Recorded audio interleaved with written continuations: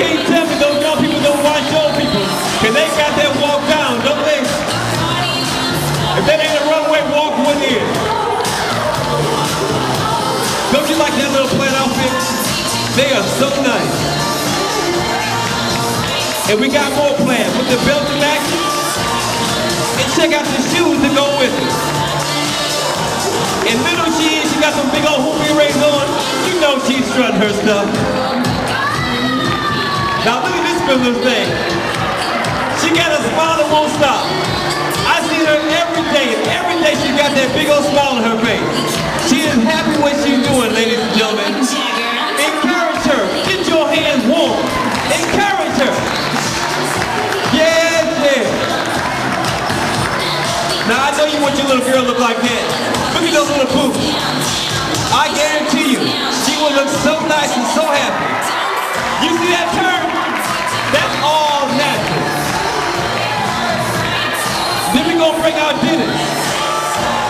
Say, I can't be outdone. You know why?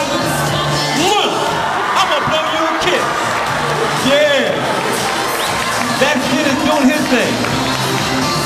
They go his cousin. And she said, yep, I can do it too. I've been seeing her since she was real little. And she gets older, she only gets better.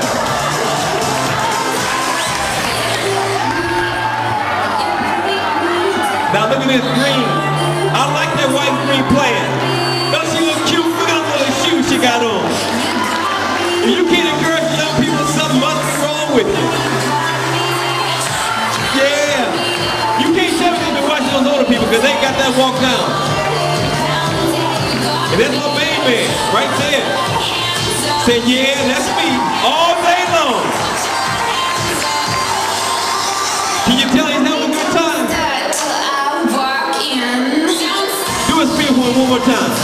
Him. Can you give me one more spin? Oh, that's all right. Now you can't tell me she ain't got to walk. You can't tell me she ain't got to walk. And she can't strut, who can?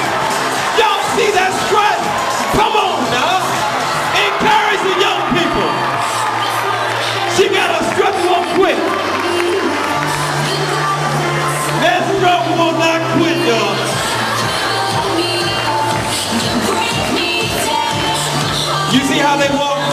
That's where they got it from. That's where they got it from. And this one here, she'll bounce you all day long. If she can't strut, nobody can. That's what I'm talking about. That strut is out of this world. Ladies and gentlemen, get your hands warm, encouraging young people.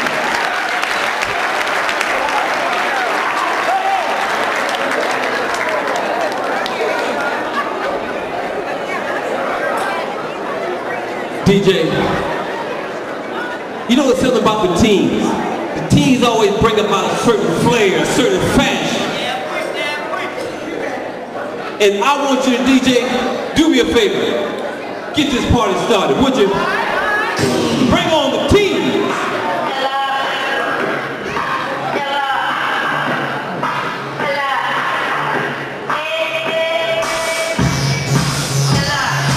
Now I'm gonna tell you, they never showstoppers. They've been doing this for a long time and they know exactly what they're doing. I love my team. I love my team. They always represent. Always represent. I like the outfit. The print. Notice the print, people. They look good, don't they? They are always ready to do their thing in a moment's notice. I cannot say enough about our team. They can be doing something negative, but they out there doing something positive. And that's what you want to see our team doing, something positive. And you just never know. You might see them America's Next top model. That's right. Look at these people, ladies. The young people are definitely represented. If you don't love our team, something got to be wrong with you. Do you know who we are?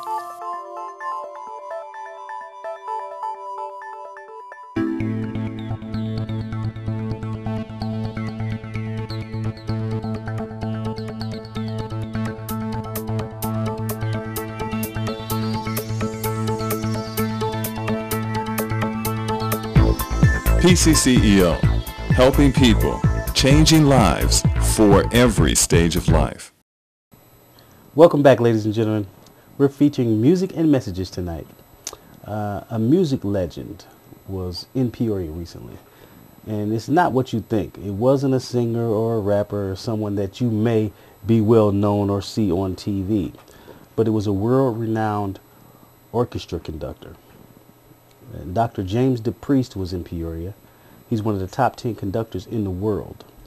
And he recently spoke to District 150 music students about overcoming barriers as he did, um, even when struck down with polio. Uh, listen to his advice, as well as uh, former NBA stars and local basketball legends as we continue with JT's Bourbon Street Live you now are at a point at which you think that you can practically do anything. You don't think about illnesses, you don't think about dying, you don't think about anything except the things you want to do and how much fun you can have in doing them. But once you leave high school, you're going to have many, many challenges that are going to be difficult, and it's not so much what the challenges are, it's how you deal with them. And what is going to determine whether you're going to be successful or not. How many of you want to have careers in the arts? All right. How many of you are not necessarily interested in having careers in the arts, but just want to be successful in life? Okay. I, don't, I hope there are no people who are left who don't want to be successful in life. So if you want to be successful in life, the first thing you have to do is to measure what success means. Success is not necessarily tied to how much money you make. When I speak at different schools, regardless of the age, the first thing I'm asked is, how much do you make? And that really is not the question you should be asking. The question you should be asking is, is what you're doing either making you happy, satisfied, and are you contributing to the society of which you're a part? Those are the important questions. It's very difficult to see that now. So if you see a movie star or a football player or somebody who's on television all the time, and you find out that that person is making a gazillion dollars. You say, ah, I really want to be that person. Well, that's fine. But if the person is making that much money, somewhere along the line they have had to work really hard to get to that point. So the first thing to remember is that hard work is a part of building a path to being successful. No shortcuts, nobody giving you something.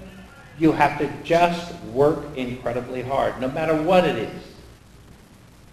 Hard work, and then when you come up against an obstacle, you have to persevere. So some people look at an obstacle and say, well, that's a wall between me and what I want to do. There's a barrier there. It's like a brick wall. And other people say, this is a door that happens to be closed. And what I have to do is find a way of opening that door and going through it. So if you're in a hallway and there are a series of doors, and the hallway represents your life, and several of these doors are open, you walk right through and you walk through the next door. You, suddenly there's a door that's closed. How do you get the door open? And the question is finding the right key within yourself to open that door. So that everybody here at one time in their life will incur difficulties. And they may be really serious. And the question is, what do you do? I remember when I was on a State Department tour of the Far East in 1962, which is before most of you were born. And I was on this tour and I was conducting and I was making music and giving lectures and doing all kinds of things. And I thought this was the greatest time. I was 22 years old. And within two days, I was in a hospital having contracted polio, could not move my legs, and I had no idea whether I was going to live or not. So that things can change. My mother used to have this great expression, don't let it get good to you. By that she meant when things are going great, when things are going splendidly, or if you're in a situation you say, this is the best time ever, you have to be ready for that time to be over because inevitably it will be over at one point, and you don't know how that happens. You don't know when it's coming, but you have to be prepared for it. So here I am lying in a hospital bed, and I want to be a conductor. Well, how I can't conduct from bed. They're not going to wheel a stretcher on stage and say, okay, here's the orchestra, conduct. So you have to have the will if you're fortunate enough, you have to have the will to go through that. And that came from a tremendous amount of faith and a very strong family. So you get to a point at which you say, all right, this is something I want to do. How do I go about it? And you take all of the steps that are necessary to get from lying flat on your back and not knowing what's going to happen to you health-wise, you turn that around and you say, it's going to be possible for me to, to build a career. That was absolutely the last thing anybody would say if they saw me at that point. But I didn't see myself in the bed. I didn't see myself defeated. What I saw was a locked door. Not a wall, just a locked door. And I said, I have to find within me the keys to open this door. And I did. And what you have to ask yourselves now, at your age, is what equipment do I have to open the locked doors that I'm going to face in my life? What equipment do I have as a young person? Does it come from my family? Does it come from me? Does it come from friends? That I can rely on when things are not going quite so well. When you can find that, you can use it to overcome the obstacles you're going to face. And it's especially true now. It's especially true at your age when you have all of the energy and enthusiasm that came from your responses when you were introduced. You have to pour that into finding for yourselves ways of coping with your future. You're going to find inevitably, it's going to happen.